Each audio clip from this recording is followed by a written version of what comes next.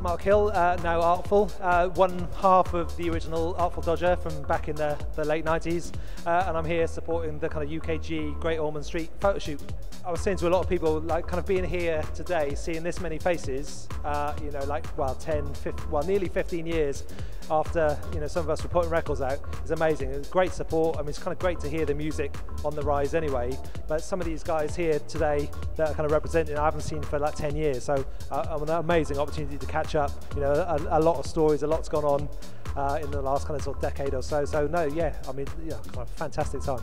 Great to be involved. Most of the others, I was just saying to Luck and Neat how and how well they've aged, but uh, me not so much. Uh, when I see old photos of me kind of performing, uh, definitely not. But um, yeah, some of these guys look literally.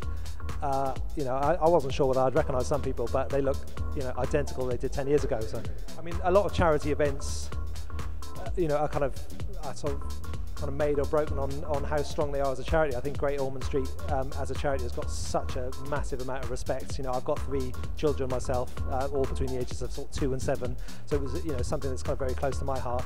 And, um, you know, I think the fact that um, Great Ormond Street are involved, has kind of brought this many people together, I think is just, it's kind of testament to how strong they are as a charity.